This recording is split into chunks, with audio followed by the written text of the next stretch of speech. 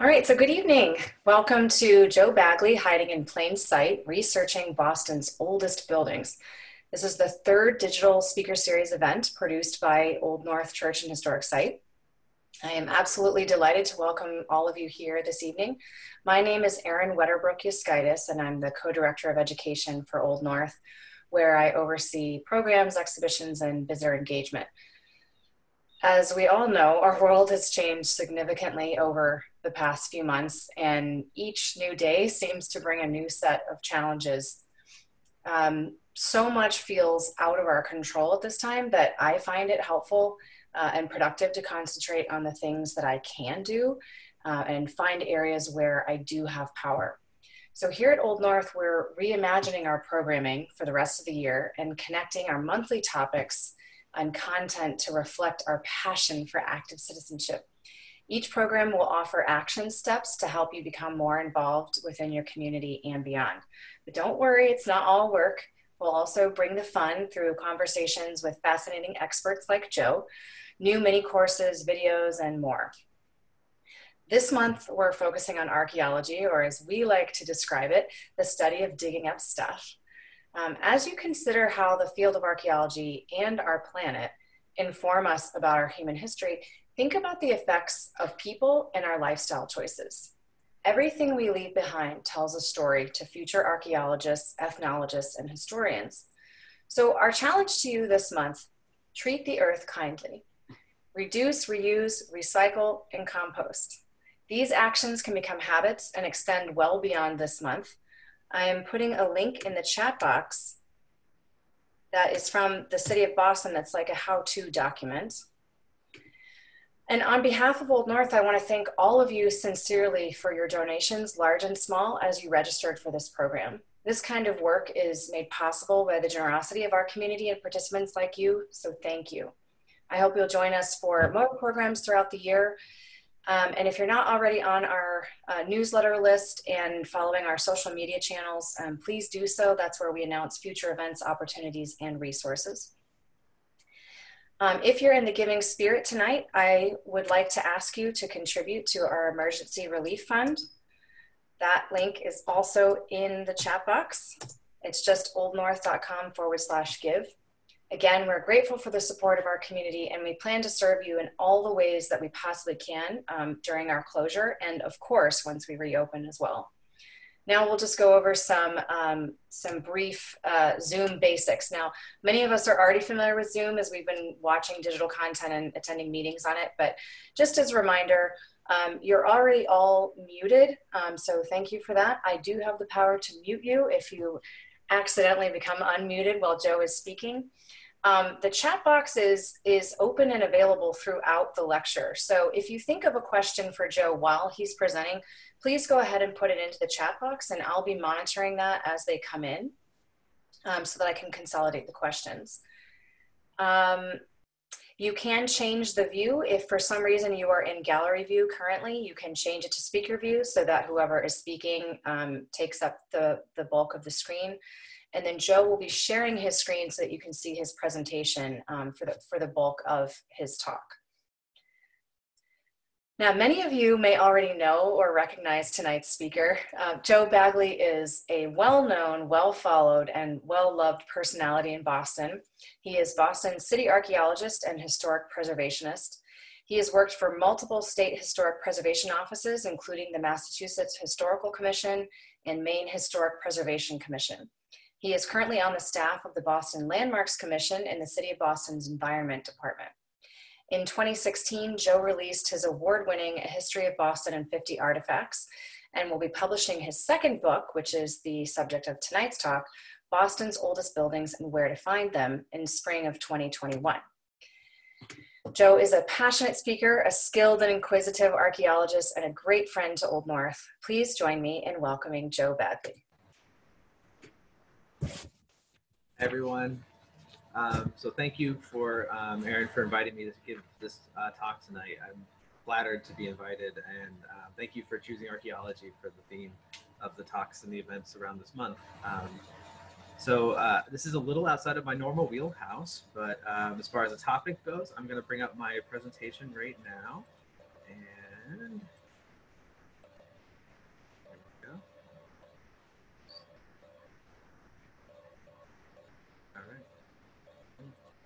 There we go.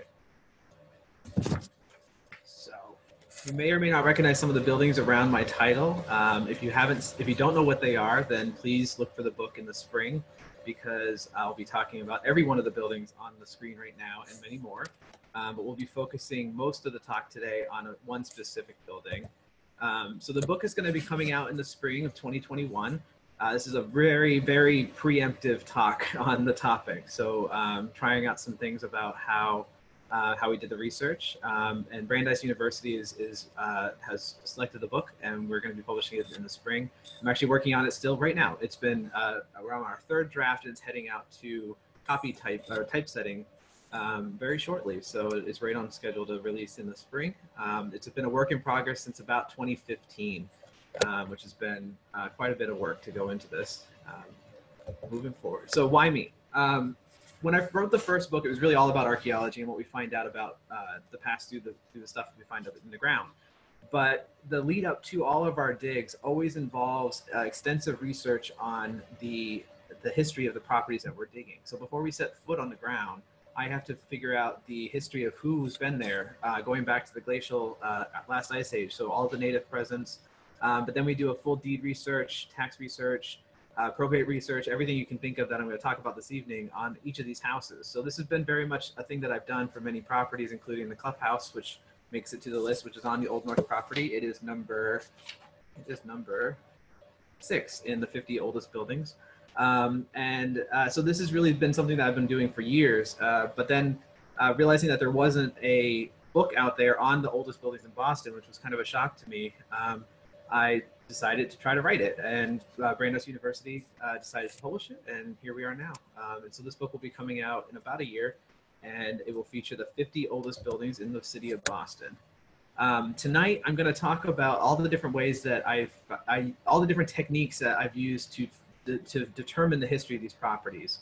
Um, we're going to focus on the, the 36th, 36th oldest building in the, uh, in the book, the Elijah Jones House, which is located at 3 Marcy Road. I think you guys can see my mouse. I'm going to show you down at the bottom where the 3 Marcy Road is at the very southern tip of the city, right in basically downtown Mattapan, um, right on the outskirts of the city.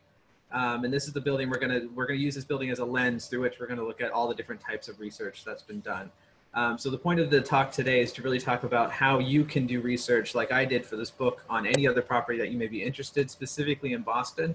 But a lot of the techniques I'm going to show you today are going to have, um, you can do it for most of the city, um, most of the state even. Um, so, so step one, the first thing you have to do when you're going to research an old building is you have to gather all of the existing data. So the two main, uh, the three main places that we're going to start with this morning or this evening is uh, Macris, Map Junction, and Atlascope. Um, and our goals in this step is to really decide what we already what we already know about a property, and then work from known to unknown. If you're doing building research, you always have to work from some starting point, and that may be the fact that you know the address, and that's a good starting point. Uh, but from that point, you have to go into the unknown. But you always have to have a basis, a starting point. So the very first thing that I do is I go to Macris, and a lot of the websites I'm going to well everything I'm showing you this evening is a free resource first of all. Um, I'm going to put the website at the top of the page as I'm showing it to you. But um, because we have to get through a lot of data, the website might go by pretty fast. So um, after this meeting, Erin will be sending out links to these different resources that I'm sharing with you this evening. Um, and then if you rewatch the video, you'll be able to hear me talk more about it in case it, we go a little fast this evening. But um, you can also ask questions at the end too about how we did things. So MACRIS is the Massachusetts Cultural Resource Information System. If you go to the website, it looks like this. You type in a street name or an address. It's a little clunky. It's a little bit hard to use, but it's also statewide. So that's a very good part of this is that it's not just for Boston and it's free. What I actually recommend that you use instead of MACRIS, the website, is MACRIS Maps, the website, which is a map-based version of MACRIS where you can actually go to a place in any uh, part of the state and see what places have already been inventoried.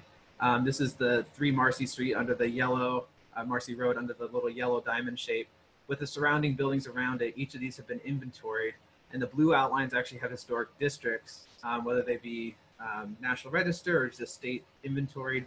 Um, you have to click on each one to find out. Um, and then the, I'm going to share another version of this, which is the beta version of Macris Maps, because if you do this again, at some point in the very near future, the state is actually going to release a new version of this website and it will look like this. So I want to make sure you see this too, so you get an idea of where it is.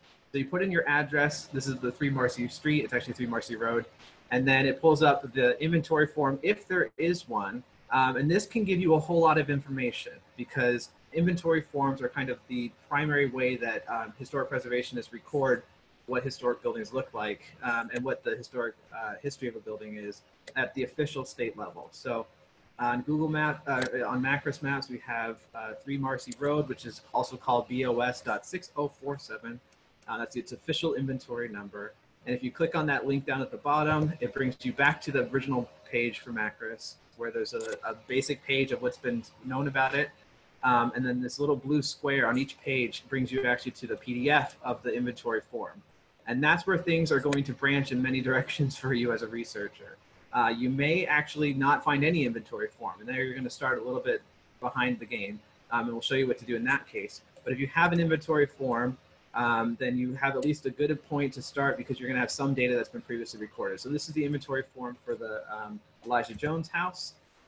Uh, I'm only showing you the top half of the page because there's nothing else at the bottom. It's a very relatively blank inventory form. You can see there's a lot of notes on it, mostly for in-house use at the state level for the Mass Historical Commission. We all we have in it is um, is the address, the estimated date for the late 18th century. I'm going to show you one more slide, which is a little bit more zoomed in. Um, it might be on the 1831 map, and then the owners is just a list of names based. I can tell on maps. Having done this enough times, I can see the, the, the dates that have popped up multiple times. You'll see many of these maps soon too that's all the state officially has on the Elijah Jones house, and that's where I was at about a year ago when I started all this research. Uh, when I when I got into the, the bulk of the research for this book, try to figure out what is the story of Three Marcy Road. So this is where I started, and I'm going to show you how I got back to who built the house because this doesn't even know it says late 18th century, um, and and we're going to uh, finish this presentation with the story that I wrote in the book about how uh, about the history of this house. Um, so you'll see kind of how we built upon all of this different data. Um, just to show you a comparison, here's 3 Marcy Road again, uh, the Elijah Jones house on the left, and you can see the three image or the three pages of the MACRIS form. Um, and the third page is blank. The first page is page is mostly boilerplate. As a comparison uh, to this building, which is the Thompson's house, uh, Thompson House in Charlestown, you can see the extensive amount of information that's already been recorded. So when I wrote up this building, which I think is number hmm, building number 46 in the book. Um, I didn't have much work to do other than re-summarize the data that was already presented in the MACRIS form and double check all the dates to make sure they didn't get anything wrong. So if you're researching a house, your own house, someone else's house, um, and you get a five or six page MACRIS form, you, um, you kind of hit the jackpot. You don't have a whole lot of work left to do except read the whole form and enjoy the data. Um, unfortunately for 3 Marcy Road, we had to pretty much start from scratch. So that's what we're going to do today. So um, once you get past the MACRIS form, the next step is to do your map research. And so I'm going to share with you two websites that are fantastic that you should use immediately. And if you don't know about them, I'm sorry because you won't be doing anything else tonight but playing on these two websites. Um, the first is mapjunction.com. It is exclusively for Boston. So hooray us. Um, and what it shows us is uh, on the left, you can open up different maps, atlases, and aerial images. And on the right, you can turn on different aerial images or other maps. And then the middle part, I am not using live websites this evening, but in the middle part, you can move that little green plus sign up and down to increase the opacity of the old map and see um, where different buildings are relative to today. It's been geo-referenced, which is what it's called. So you can actually see what used to be where you are um, and see your building kind of change over time. Um, this is a fantastic resource for uh, especially older maps in Boston because they've all been geo-referenced in here. Um, if you're going to use the atlases, like the one I have up right now on the page is the 1904, I think it's, yeah, it's a Bromley Atlas. Um, what I actually recommend that you try out is a brand new website that's been released by the Leventhal Map Center. Oh, this is a detailed view, another view of a map junction of the same property, in 1904. Um, here's Atlascope uh, with the website across the top. You can just Google Atlascope. That, this was released in March of this year uh, by the Boston Public Library's Leventhal Map Center um, with many, many, many, many maps. Um, you can see on the right, the drop down of all the different years, I can actually look at this same spot in an atlas from 1933 to 1874. Um, the good thing about Atlascope that doesn't that doesn't happen on Map Junction is Atlascope includes other towns up to I think Revere. It has Cambridge, Somerville, um, uh, Brookline and I think Newton, but um, don't quote me on the Newton part. Yeah, Newton I think is there too. Um, so it's a little bit more of the surrounding area that you can look at these atlases. Uh, but these are our three main resources for finding old maps. And the reason why we need the old maps is we need to know who owns the property. So I'm going to go back two slides real fast, and we're going to see what the, how things change over time. So in the 1904 image, um, we have, it's a little bit hard to read, but down at the bottom of it, we have uh, Jones um, at the owner, uh, as the owner of this house. Um, here, oh, so this is the same map, good. Um, we have actually A.H. Whitney et al. as the owner of the property. Um, the current property, 3 uh, Marcy Road, is located where it says Rosa's ATM Services.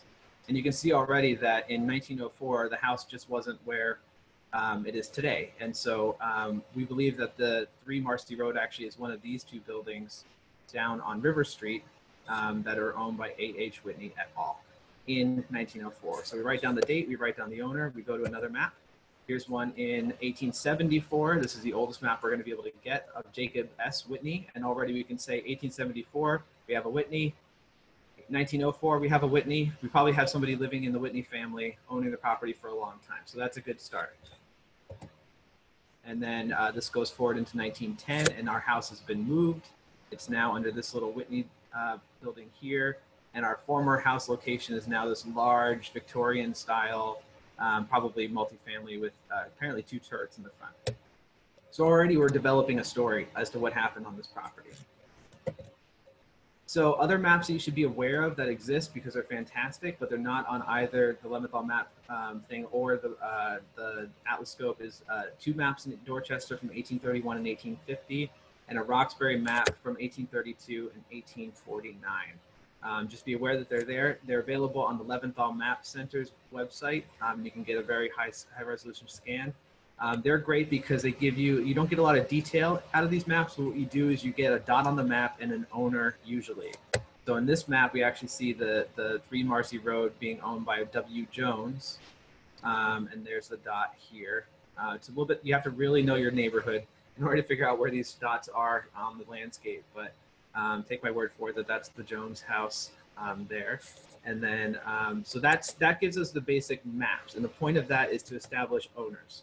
So here's what we have by the end of step one, the knowns on the right, the list of all the different owners that we know are owning this house and the year that they own it based on the maps. Now the next step is to connect those dots. So step two, we do deed research. So deed research will actually tell us who owns the property, who sells it to who and when and how much. Um, but more importantly, with our oldest maps in Boston that really give us that high resolution map, um, the, the Hales maps from the 1870s, we still have in many of the cases of, of uh, Boston's history another 170 years to go, 140 years to go back um, before we get, or 240 years to go back before we get to uh, 1630s if we really want to go all the way back. So um, the only way to really do that is through the deeds. So we're going to talk about next familysearch.org. Um, grantor and grantee records and what happens when you get to dead ends. So you're going to be working for, in the case of trying to find the oldest part of the building, we're going to be working from our oldest known sites, our oldest known owners, backwards until we reach hopefully the owner of the original property back in the day. So, but first we have to talk about something real fast. This is a major thing that's going to have that's going to come up if you're doing Boston research. Um, our neighborhoods Many of them started off as their own towns or parts of other towns, and then were uh, accumulated into Boston, usually in the 1900 or 19th century. So that's something that you really have to know. Um, so uh, this is a kind of convoluted page, but I've got the three columns of the different counties that we used to have in Boston. So Suffolk County is all of downtown Boston, and every neighborhood after it was annexed to the city. Um, we're going to jump to Middlesex on the far right. Middlesex County included Brighton and Allston, as well as Charlestown, until they were annexed to the city.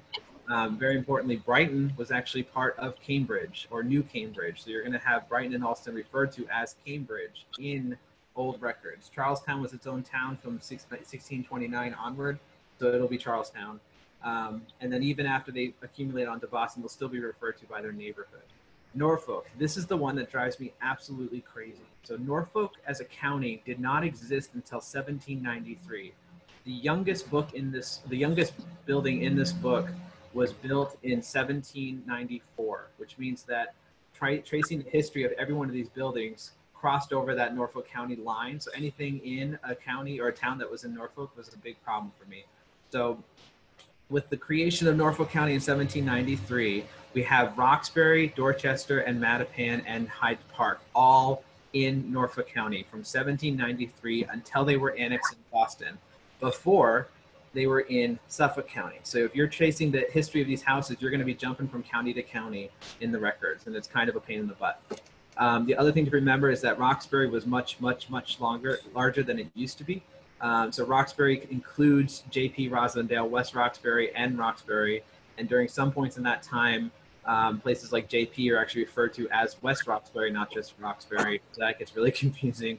Um, and then Dorchester was kind of a collective whole, which includes Mattapan, Hyde Park, and the town of Dorchester. So there's a lot of things going on in the different neighborhoods. This I all learned through trial and error. Um, so this this is something you, if you can print this out someday, you should have it hanging up on your wall just so you don't forget all the dates and changes and everything. All right, so deeds. Deeds are the greatest thing or the biggest pain in the butt known to people if you try to do deed research. And I'm going to show you how it's done. Every deed in Massachusetts up to the mid 20th century has been scanned and is online for free at familysearch.org. Um, it's a really long web web address, so every time I use the deeds, I always just Google Family Search Massachusetts Land Records, and it pops up the link to it. Um, so it's a lot easier to get to. So that's what I recommend people doing. When you get to that first page, you see this pretty blank website that just says Family Search Massachusetts Land Records, and then you click browse through the 5.7 million images link, um, and that gets you to counties. So this is why we I did that little thing about the counties. You need to know what county you're actually looking at as you go through. So um, being Boston, we're going to focus a lot on Suffolk, Norfolk, and um, and uh, Middlesex County. Um, uh, to be completely honest, I haven't checked out a lot of these other links because I don't use them very frequently, so I can't tell you how good the data is on those. But um, Suffolk, Norfolk, and Middlesex are very complete and very well scanned. Um, so that's what the website looks like. We're going to go back to our raw data and see where we need to go. So from our maps, we know that W. Jones owns 3 Marcy Road in 1850 and Jacob S. Whitney owns the property in 1874. That's about a 25 year gap. So as far as I'm concerned, there's too many dates between those two numbers. I'm going to start doing my research at Jacob S. Whitney and work my way backwards, hopefully finding Jones next. And if I don't see Jones next, then I've got another person to add to my list most of what I did for the book was really trying to go back to the beginning. So I really focused all of my, a lot of my early efforts on trying to establish how far back I can bring a building, um, especially for the ones that aren't known. Uh, places like Old North kind of know exactly when that building started, so that's kind of nice. But places like this, you have to start from scratch, literally, or at least from a couple of old maps. Okay, terminology. Grant uh, deed records are organized by the grantee and the grantor. And the way I remember is a grantee received the property, all the e sounds, and a grantor gave to uh, somebody. So um, the grantee is the person that bought the house. The grantor is the person that sold the house. The deed is all the details of the transaction. So, based, what that means is that if you have a list of peoples who own the property from your maps, every one of those people is a grantee because they received the property. So you're going to be looking up grantee records to see who they bought it from. So when we click on the Massachusetts land records for, um, in this case, it is Norfolk County. You can tell that because all the dates start in 1793. Um, we have already known Jacob S. Whitney owns the property before 1874. So we go to our grantee list on the left. This is the deed indexes, all organized by the grantees. They're then organized again, the same data as grantors. It's the exact same data backwards. So you're to, if you know who sold the property, you go to the grantor documents. If you know who bought the property, you go to the grantee documents. They're all the same. They're just organized backwards to each other. Um, and they're organized by date and then by the last name of the person that bought the house or sold the house. So Whitney, pre 1874, the blue underlined link on the left says 1793 to 1889. Therefore, and we're looking for Whitney, so that's the link I'm going to go to, volume 36 and 37, which brings you to a page that looks like this. The one pain about familysearch.org data is that nothing's searchable in the sense that you can't do a search from here. You just have to page through the documents as though you were paging through a book. So you can see how it says image 403 of 478 on the upper left you're going to click through each of those photos or looking for the thing that you're looking, the page that you're looking for.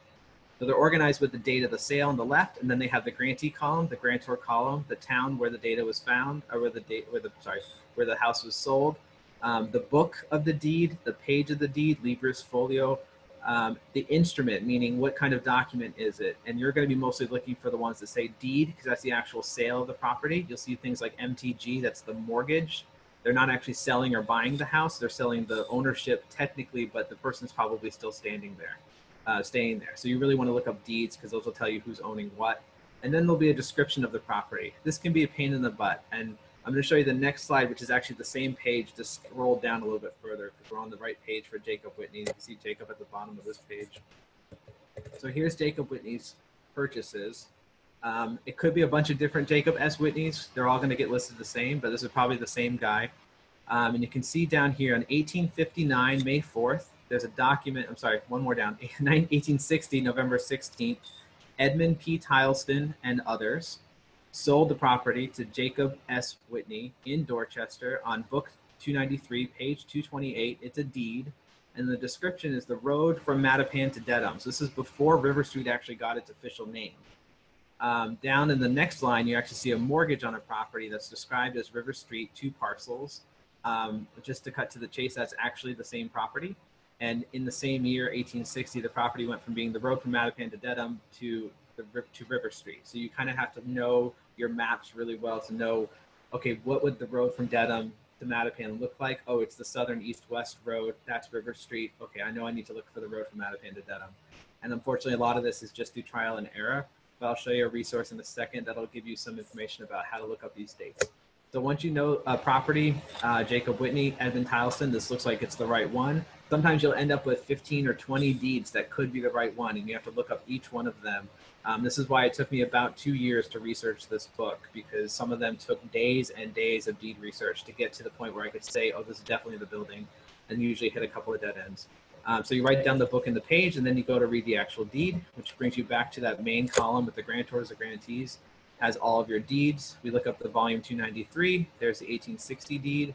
Um, and real fast, I just want to point out, see how it says volume 293-294? That actually means that you have two different books together in that same post. So what that means is as you're scrolling through your scrolling through the books that you're looking at, and you really want 293, you might actually be looking at 294. And there's been many times that I've been doing the research and been on the correct page and the data's not there, only to realize that I'm in the second half or the first half of the document and I'm in the wrong volume, if that makes any sense. Um, so that's a little bit of a, of a pain if you end up doing a lot of page thumbing just to find out you're in the wrong spot. So here's our deed, 293. I'm not going to read a, a, deed at you all because I don't hate you. Um, and you can see on the right that it says Tileston to Whitney. You know you're in the right place. So that's great.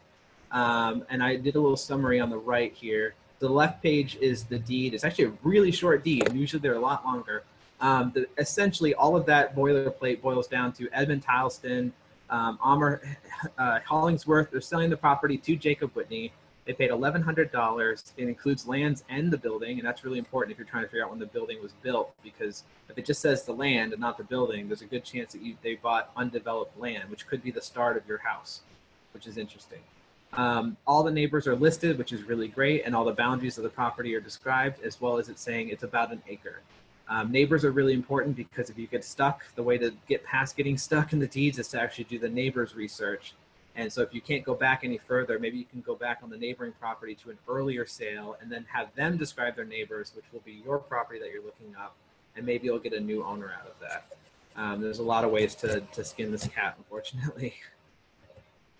All right, so you do everything, uh, you keep doing that with your deeds until you go back to essentially someone saying, I bought a lot of land, instead of saying, I bought a lot of land and a house. And that's usually telling you that the house is built. Now, there could be multiple houses that they're selling over time. So that's one of the challenges. You have to kind of know your styles of houses to know whether or not you're dealing with the same house every time it sells if they're putting up a new one. That's one of the hard things about this research is that you can't always tell. Um, I'll show you the street book in a second that will help you understand the street history a little bit better. And then for me, I always do a sketch of the of the property boundaries with the neighbors because as I'm going through the deeds, they tend to be the same um, description of the property. And you can check your drawing to see, oh, is this the same property or not? Yeah, it definitely is. Um, and then also you can track down the neighbors if you have to. I always Google my results as I go. So in this case, I'm doing my research. I see um, uh, Tileston and Hollingsworth and Dorchester come up. I don't know who these people are. I throw them in Google, and next thing you know, I have some very obvious paper mill industry connections. So that's really exciting. I do a lot of research on that. You're going to hear about the results of that, but that's a nice little avenue of research to figure out, well, why is Tileston and Hollingsworth buying a tiny little house on the edge of Mattapan um, when their mills are huge and nearby? So that's one of the questions that I now have a research question from. It's 3 Marcy Road and it might be 18th century. Here's a book that uh, you'll get a link to in a little bit. Um, that is a directory of all the cities, uh, all the streets in Boston pre 1910. And what it has is uh, you can look up different streets and figure out what they used to be called, and also what they, um, what their distance or where they start and end. Um, this is really helpful. Unfortunately, this one for River Street in Dorchester doesn't say this. The street used to be called the road from Mattapan to Dorchester, um, or Mattapan to Dedham. In a lot of cases, you'll actually see that uh, the old names of these streets will be listed for each one of them. Um, so River Street says this was laid down in 1840. It's a 17th century road. It's actually a native trail. Um, so what that really means is that somebody said this is officially River Street and we're going to mark it officially in 1840 as opposed to there being a trail or an old road that would have been there from the 1600s forward. Um, but this is a really great reference if you need to get more data on different streets. All of it free. Um, the worst thing about deeds is that almost inevitably you're going to get stuck. Um, so here's the types of ways that you might get stuck and to be ready if you see it. Um, if a property is sold by a town, they don't actually sell it in the name of Dorchester or in Boston or Roxbury. They actually sell it in the name of the selectmen on the town's board. What that means is that you might actually be buying it from a whole bunch of white dudes, but you actually bought it from Roxbury and that's how it's going to get recorded in the in the record. So if you're looking for a, an owner, say a town you know that the property was sold from the town of Dorchester to an owner, what you're going to actually do is you're going to have to look up who the select people are in Dorchester, select men usually, um, and figure out what their names are, and you might have to look them up, and that can get really troubling over time. Um, the uh, multiple owners may be listed independently, meaning the Tileston may have his own listing and Hollingsworth might have his own listing, and maybe they didn't duplicate everything in the same data for each one. So if you can't find one of the owners, go after the other one if there's multiple people selling the property at once. Um, there's sometimes missing data, spellings of names can get really weird. Um, for me, I'm always in the wrong county um, for Norfolk and, and Suffolk counties, especially wrong book, which is what I told you earlier about you went for 293 and you accidentally ended up in 294 and you did all the page searching and found out you were in the wrong book. Um, sometimes you get a really great, uh, you have the right page, but it's scanned too dark and you can't read it. Um, that happened a couple of times where I knew I was looking at the right page and I could see like five words, but everything else was gone. The war happened, the Revolutionary War. Um, that's a real big pain in the butt because if your if your house is owned by a Tory and they abandoned their property and the state confiscated it, you might not have a sale record of when the house was bought and sold from about 1760 to 1790 or so, because what's actually happening is it's getting confiscated by the government and then auctioned. So you may not actually see all those records come up. And then I found that crossing over the war turns into a black hole hole for deed research because sometimes you you just lose the property and the deeds. Um, and in almost every case, the solution for losing the property is to follow the neighbors because they will have more details, hopefully.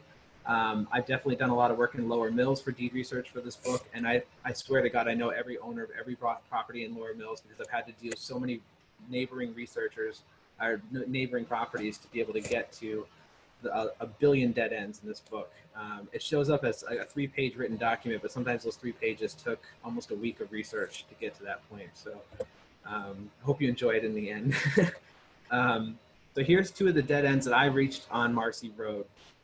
I have an owner named John McLean, but he doesn't buy the property. No records of him buying this property in the in the grantor record or grantee records as the person who got it. So that's a problem. Also, at one point, I find out that Mass General Hospital owns 3 Marcy Road, a tiny little house in Mattapan yeah, I didn't get that either. Um, so those are two things that I couldn't justify, and more importantly, I'm at a dead end, and I think it's like 1830. John McLean owns the property, and I got stuck, really stuck for weeks. I couldn't figure out how to get around it um, because, and I knew I was probably about 70 years away from figuring out when this house was built. And so there's going to be a lot of owners before John McLean, but I couldn't figure out how to get past that. So the next step, once you get done with your deeds, is to do probates and wills. If you can't find it in the deed, what I found out is that more than likely it's because somebody died and gave it to them in a will. And that's what we're going to do next. So the two sites we're going to talk about next is ancestry.com, which many of you are familiar with, and Family Search again, um, because they have everything. But here's ancestry.com's will and probate rec records. Um, you just Google ancestry.com probates and it pops up. Um, probates are more of a general term that includes things like wills, inventories, that kind of thing. Um, and then right now, because uh, the library is closed, the library version of ancestry.com, if you have a library card, is free and online and you can access it remotely. So if you don't have an ancestry.com account, right now you can actually use it from home with your library card, which is really exciting. Um, if you don't have an ancestry.com account, use the family search, which is a free version. It's just a lot more work to get to it. In this case, you can put in the first and last name of the person on Ancestry and pop up their will if it's there, but it doesn't include all of the information. I'll show you what I mean in a second. So um, here's the familysearch.org page uh, for the Massachusetts probate. There's each one, each county has a different page, so you'll get the links to that. They're organized by um, by index and then dockets and then the actual book. So the probate index is where we're going to start. That's where you only know the person's name, and you can see all 200 years are included in one document. In the probate index, you go by name. So there's our John McLean's. We're looking for John McLean. Um, you can see him kind of center list, and you can see all the McLeans from 17 whatever 93 to 1920 something um, listed and uh, and then a, what the probate is, and then a number afterwards. You can see down at the bottom, there's John, 1823, his will, and it's number 27092. So you write down all that information, and then you go back to your original, uh, to the previous page, this one here, um, and you scroll down a little bit to the probate docket. So this is the docket numbers, and we're looking for 27,092. And there it is in probate docket number 23600 to 28799, 1811 to 1830.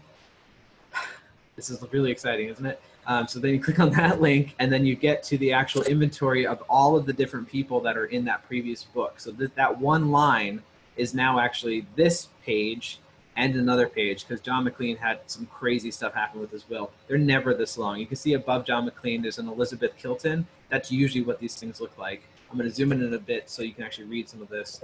Um, so the first couple of lines of all of these things are going to be what you really want to see.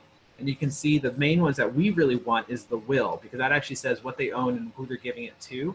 Another one to always look for as an archaeologist, I love them, is the inventory. You're really lucky. The inventory can be a room by room account of everything that they have in the house. And I didn't get to write about a lot in the book, but there's one, um, this guy named Cheever I could draw you a, I could photograph every object from a museum and put it together into one big collage of everything that this guy owned because they describe it to the point where I know what types of ceramic his dishes were made out of, um, which makes my heart go pitter patter because I like old stuff. Um, so that's great for the inventory. Sometimes the inventory literally just says we took an inventory, which isn't very helpful, but the will is what you're really going to want to see. And then um, you'll see on the right, I can't quite see it in my view, you'll see the page, the book and the page of the will. And then you go back to your familysearch.com or .org things and you scroll down a little bit past the dockets and then you get to the actual records. There's volume 121 from 1823. These are all the people that died in 1823 and their records that are there. And here we go, John McLean's will, 27092. It's a very, very long will. John McLean is loaded. There's a lot of details in there, but that's how you get the actual line by line um, uh, itemized will. Um, so in this case, we know that John McLean owns the property, but we're not sure really where he got it, and we're not really sure how um, Mass General got the will either, or got the property either. Um, so what we need to do is figuring out we the um, going back one. Uh, Mass General is actually in John McLean's will, where he's giving the property to um, Mass General, and you'll see how in a second. Um, but we don't know where John McLean got it, so we have to do a little bit of genealogy. Um, it's all going to get tied back to everything. Um, and in this case, we were able to use Ancestry.com to figure out that John McLean's dad is the name is Hugh McLean. And then I went back to Hugh McLean's will from 1800 through the same technique that I just showed you. And you can see in here that he's giving all of my other estate I give to my said wife and my son. So I now know that his estate went to his wife and John McLean. So at least I now can think, oh, maybe the property is actually bought by Hugh McLean, not John McLean, and that's why I couldn't find Hugh uh, John buying the property. So then we go back and do all the deed research, and then turns out that Hugh McLean actually did buy the property. And I'll, I'll, i have a summary of all the data at the end that you'll see where um, where it came from and where it went. So this is how the wills tie into all of the uh, ownership because sometimes it's just not in the deeds. So we go back to the deeds, and here's a, uh, a deed from which one is this? This is Elijah Jones selling of the property to Hugh McLean in 1786 in the Norfolk County Deeds, book 158, page 148. And then previously, we see another uh, record that says that Elijah Jones is buying a vacant land from the town of Dorchester, which isn't actually Dorchester. It's a whole bunch of people. Um, so you can see on that, uh, the, the deed that I'm showing in this actual presentation, you see that says clap, a whole bunch of squiggly lines, and a whole bunch of other words that we can't see to Jones. That clap is actually one of the selectmen, and you can see on the left, Noah Clapp, John Minot, Ebenezer Willington, Samuel uh, something, Ezekiel Tolman. Those are all the selectmen of Dorchester. So they're selling the property to Jones, not Dorchester, although technically it is Dorchester. So that's where things get a little weird. Yeah. Um, so now we're still in deeds, uh, but that's how we've gotten to figure out when the property could have been built because Elijah Jones is buying vacant land from the town of Dorchester. He's also a house right, which is pretty interesting because that means that he probably built the house himself. And through all of this research, we now have a pretty good picture of what's going on at the house, and I'll kind of read my summary in a minute. One thing I didn't do for this house, but is really important for places like the North End and any place where you have a high density of people living in apartments or tenements is to go through the tax records because they're incredibly important. Uh, FamilySearch.org, again, has all of them scanned, um, 1822 to 1918, and the earlier ones from 1780 to 1821 are all on the Boston Public Library. So why do the tax records matter? If you're dealing with an apartment, so anybody doing research in the 19th century, especially near downtown, odds are if you're looking up somebody or the owner of a property, they're not necessarily the person living in the property. So my ancestors were all immigrants, so I'm looking up data about them. I need to find out. Um, knowing who owned the apartment isn't going to tell me anything about the people in the house. And if I'm doing archaeology on a site, I need to know who is in the house, and I get that from the tax records. But I'm more concerned about who's leaving the stuff behind, not who owns the house. Um, so that's the main reason. The problem with tax records is that they're extremely biased data. So they're only taking information from adult men which means if you're a woman, for the most part, you're not getting recorded in the tax records. And for the most part, children are not there. It's always, there's a million exceptions, but for the most part, you're only going to find adult men living in these houses. So they could be married and have 45 kids, we'd never see them in the taxes. So what do those look like? Here's the um, page on familysearch.org. If you Google Boston tax records, um, there's three different types, the assessor's list, the tax books, and the valuations book. So what we're doing today, where you're just looking up who lives in the house, skip the assessors and the tax books, look only at the valuation books. I'm, I do not really know the differences, but just take my word for it. It's the valuation books. When you're looking at this, it's the far column on the right. Um, and I usually forget which one's the important one. So the first time I do the tax records, I usually look up the assessors and then the tax and go, oh, it's the valuation book. Um, they're all organized by ward, which is hard. The way to find a ward is tricky. So what I do is I go to Map Junction, and this is an overlay of I think an 1810 map or 1848 map. There we go. I wrote it right on there. Um, some of the maps that show the entire downtown area of Boston will have kind of subtle numbers on the page, and you can see it with the red arrows. One, two, three, four, whatever, you know, numbers. Um, those are actually the wards. So if I'm doing research around Old North, which I usually am because I've dug, I think, everything on Old North at this point, um, around Old North, um, that's almost always in Ward 1, although the North End changes to another ward later on. But so you use these maps that are online to get an idea about what ward you're looking in because the tax books are organized by ward. And sometimes it takes a really long time just to figure out what ward you're in by doing a lot of um, uh, uh, pointless searching um, through the valuation books. And sometimes it just takes forever. Um, a lot of the textbooks will actually have uh, in the first pages a list of streets and then the pages or and then the street numbers. So um, if I'm looking up number four Causeway, I know that it's in Ward one now, and um, or I'm sorry, backing up. I know that in Ward one, Causeway Street is on page four. Charter Street, because it's enormous, is on all bunch of other pages. Charlestown Street is on page six, and then I can just go to those pages and see, find my address based on the owner, since I know the owner, and they're always listed. So here's a page from the tax records. On the right side is the owners. On the left side is who's actually there. So you can see that sometimes it's the same owner and the occupier. Um, John Beard is the owner, and he also lives there. But you'll see a whole bunch of names of people that don't own the buildings that actually live there. So those are your people in your house uh, as you're going through back through time. Um, they'll also give you uh, what they did as a job, what street they're living on, and the value of their real estate and personal um, uh, information. I believe that if you know a person, we're doing this based on buildings. So this is organized by street.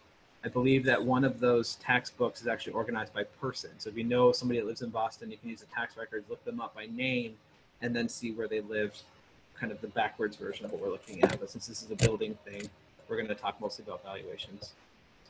Um, the earlier ones from 1780 to 1821, um, those early tax records are on the Boston Public Libraries page, and you can see again, it's still organized by ward, um, 1780, Ward 1. Um, and so you can go all the way back to 1780. What that gives you is really good information about 18th century owners of properties and what their values were, um, even if they're renting properties, which is really hard to do uh, usually in research. Okay. Last but not least, the directories. That's going to give you a lot of information about who's living where and what they're doing. Um, and the Tufts directory has a search function where you can actually look up by year, by the person's name or the address and see what they, who they are and where they're living. Okay, I'm running really bad on time, so I'm going to finish up. Um, so what I'm going to do is I'm actually to read a chapter from the book as the final part. So when I started the process of the Elijah Jones house, I didn't know it was called the Elijah Jones house. All I knew is that it was on 3 Marcy Road. It was about 1770. And this, from the research that went into this book, this is what I found out about it. In March of 1777, House Wright Elijah Jones purchased one and three quarters acres of undeveloped pasture from the town of Dorchester on the north side of what would become River Street in Mattapan. He likely built the house himself. By 1786, the property was divided into two parcels one one acre parcel that contained a house and other buildings, and a smaller three quarter acre parcel that contained the blacksmith shop of Elijah's brother Thomas. It is likely that Elijah built both structures sometime during the Revolution, but given the height of the activities and the need for the raw materials during the time, the house is estimated to have been built towards the end of the war, since both the deeds of Jones's original purchase of the lot and his sale of the building were filed on the same day in 1786, nearly 10 years after Jones first bought the property, suggesting that there was some delay in building his property. So he bought it and sold it 10 years apart, but filed the paperwork on the same in the same day, suggesting there could have been a pretty good delay.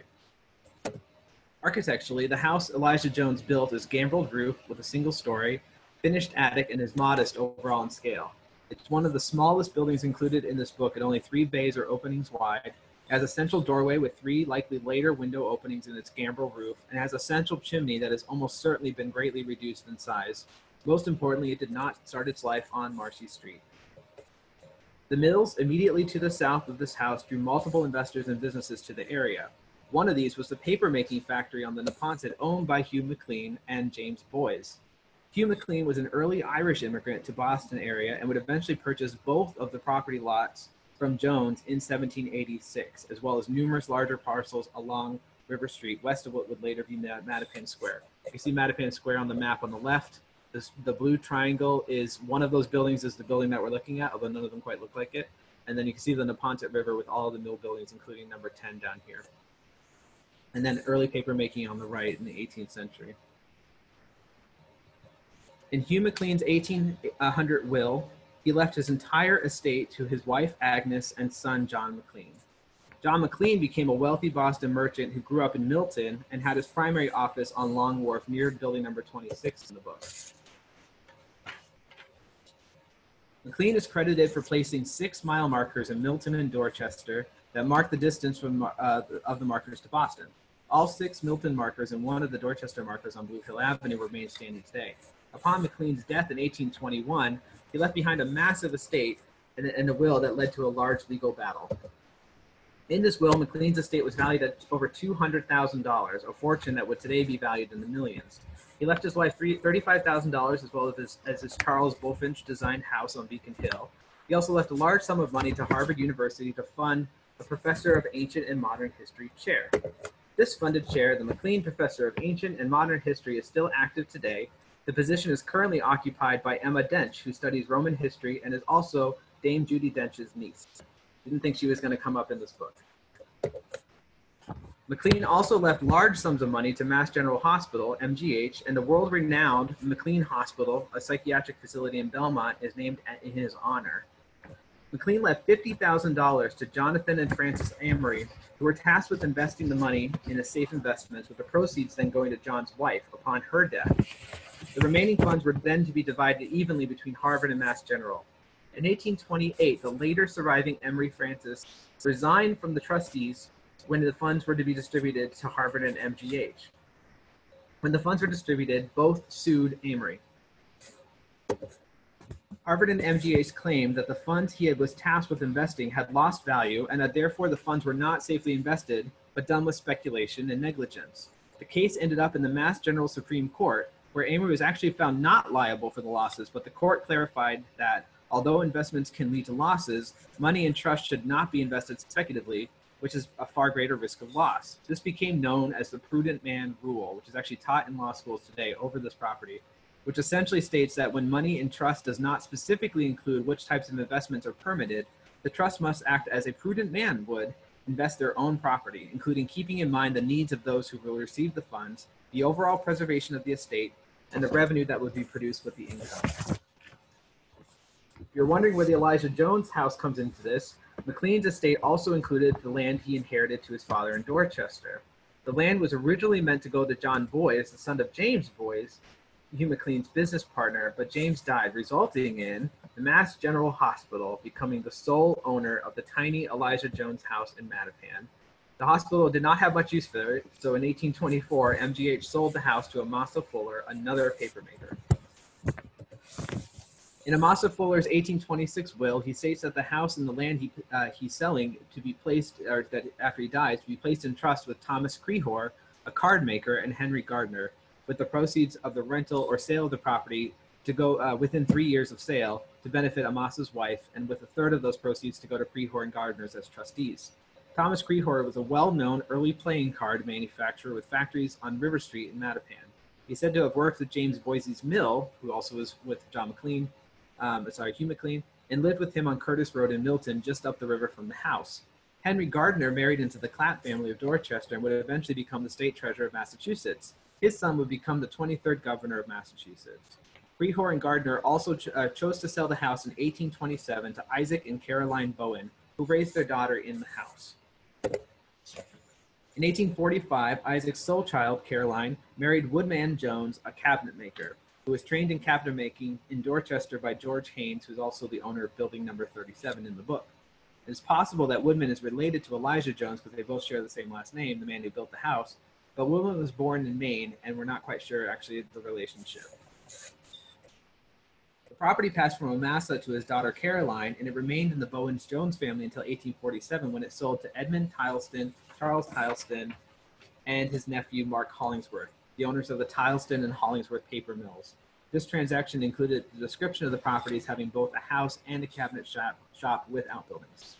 Tileston and Hollingsworth purchased the McCarthy and Leeds mill in 1831 in Mattapan, and their descendants carried on the manufacturing of book paper in, mill, in the mills, as well as the Eagle paper mill. I'm sorry, this is a um, 19th century paper making. Um, they also own the Eagle Paper Mill at the, on Center Street Bridge near the Neponset River on Lower Mills, today the site of a Walgreens pharmacy. The partners were major landowners in Mattapan economy, uh, Mattapan's Economic and Social Center. They rent, retained ownership of the house and the shop, likely renting out both until 1860 when they sold the property to Joseph Whitney, whose family were all millwrights.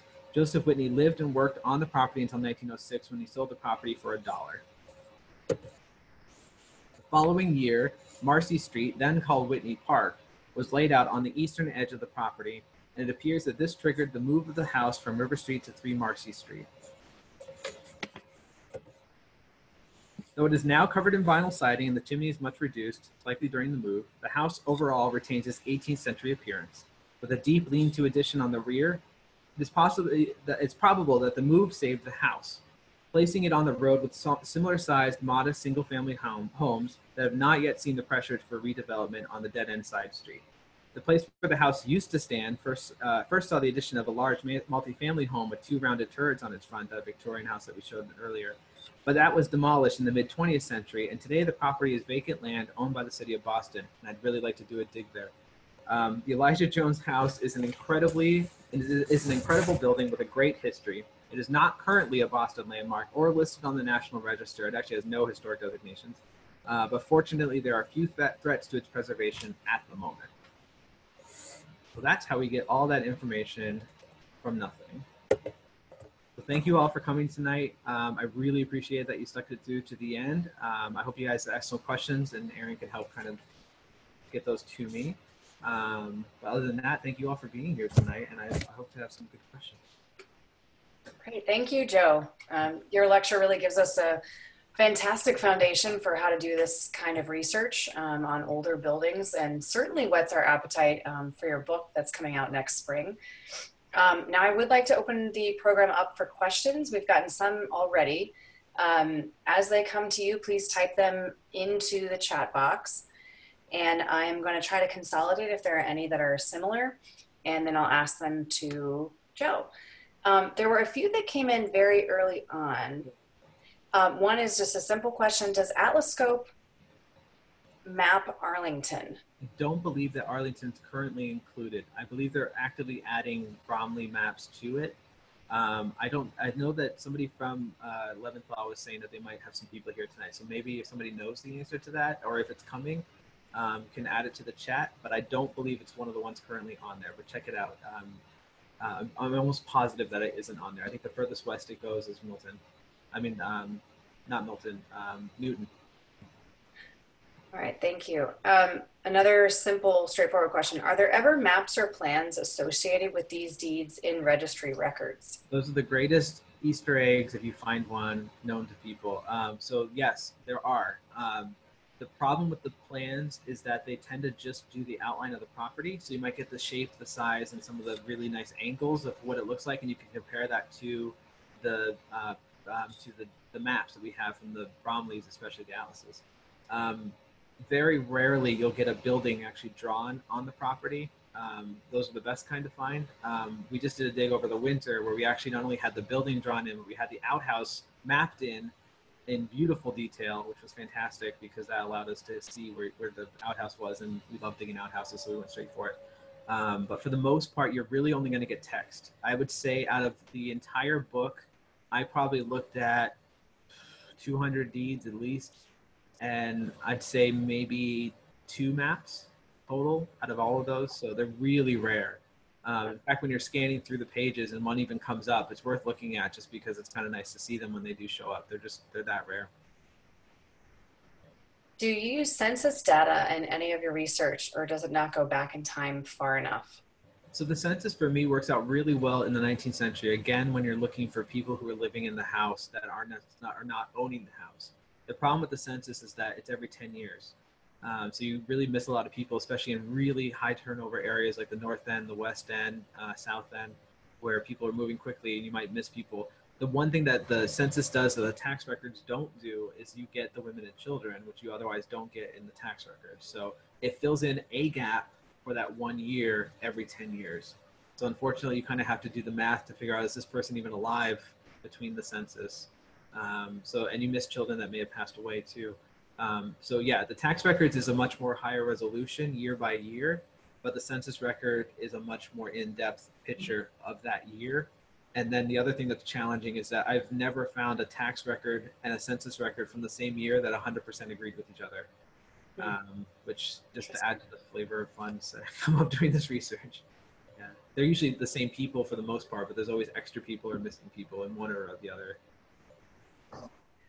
Um, okay, so another, this is a, a juicy one about the research that you do. When it comes to dead ends and the records, does anything stand out as your greatest challenge and or accomplishment? And how did you work around it? So one of the reasons why you're hearing about Three Marcy Road is that um, I walked away from that building after probably two solid days of work.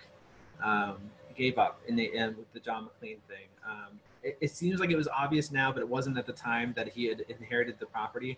Um, but that's where I really got stuck. And then the next thing I found after him was all this cool stuff about Mass General, and it just seemed really interesting. So for me, getting over that hump was probably the hardest challenge that I found in the book. Um, from the research point of view. There's a whole lot of buildings that got stuck, but um, and they just took a lot of walking away and coming back later to go try. Anyone that's done the ancestry research knows that there's a lot of times we just need to walk away and then come back later with fresh eyes.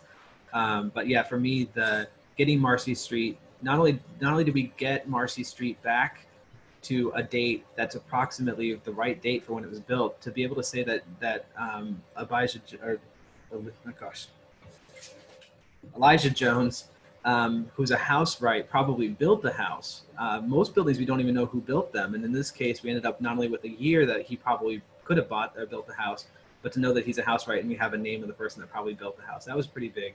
Um, so that was a really nice way to end the research on that house was to know for a fact that it was a vacant lot and bought by a housewright. Then that's a pretty good smoking gun for when the property was built.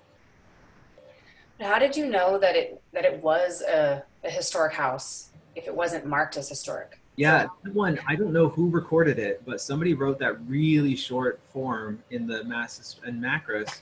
Um, it wasn't on my radar. I drive by it on my way to the lab every day. Um, not anymore, but I used to. Um, and uh, that building I never noticed. And when I did the research for this book, I was able to go to MACRIS and basically just copy down all of the old dates and arrange them in order, and Marcy Street turned up If somebody happened to say, I think this is 1770. The weird part is that not all the other houses in the area are recorded. So it feels kind of like they knew something about it. And I don't know who recorded it or how they got it, but they did. That also means that there's probably other three Marcy roads out there that are hiding, again, in plain sight that, that I missed. Um, there's a couple of the houses in this book that I personally found. Uh, one of them's on Tileston Street and Hanover Street. Um, called the Grant House. Um, nobody had researched that one. I walked by it after taking a picture of Old North and the Clough House and, and this, um, not this house, another house in the property.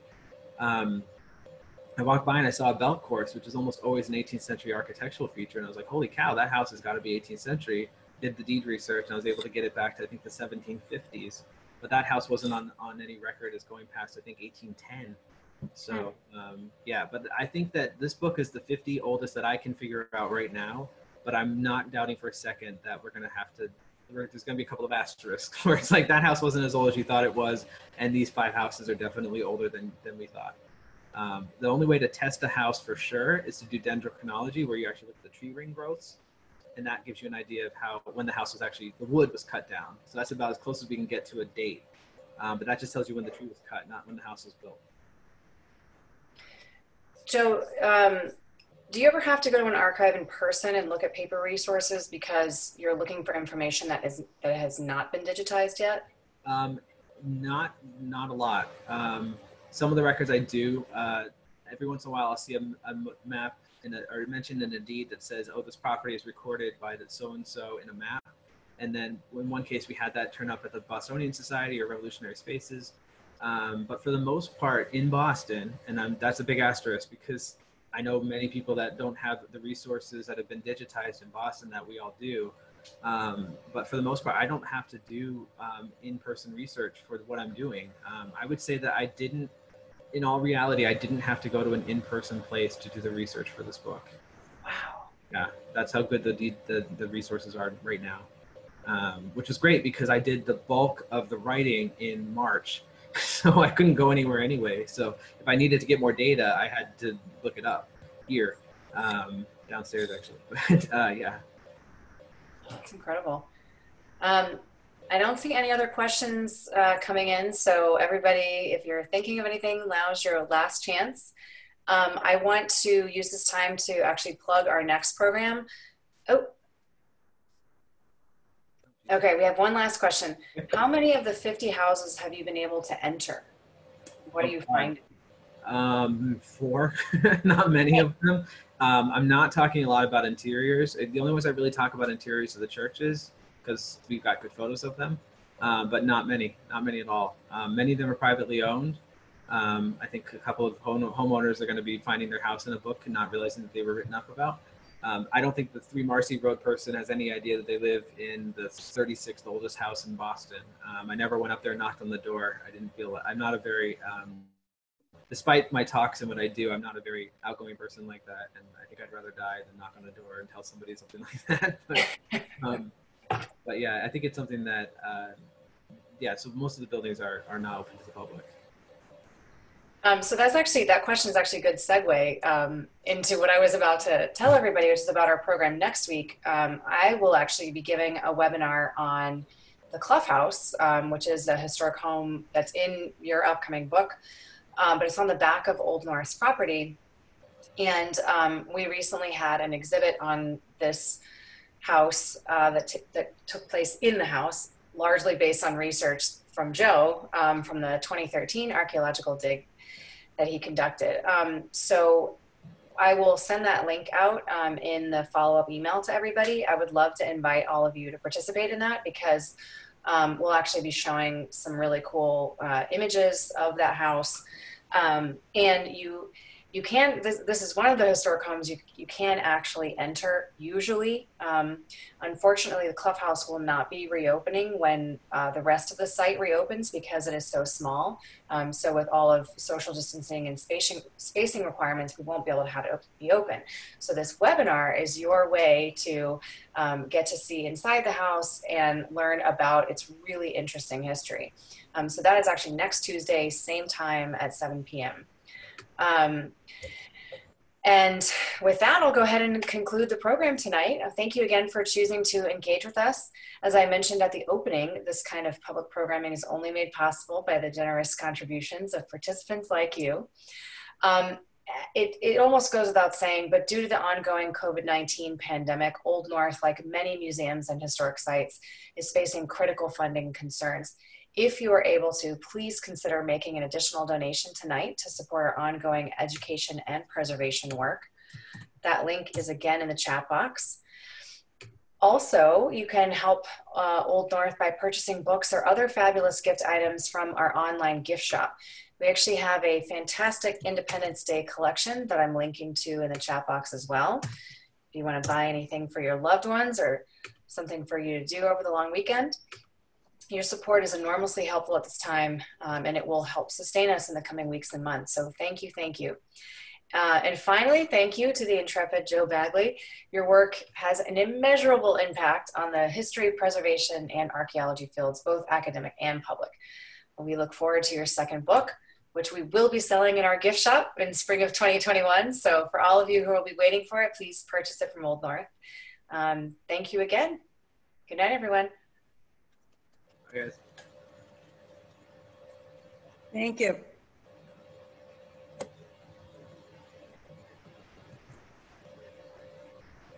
Wonderful presentation. Thank you. Yeah.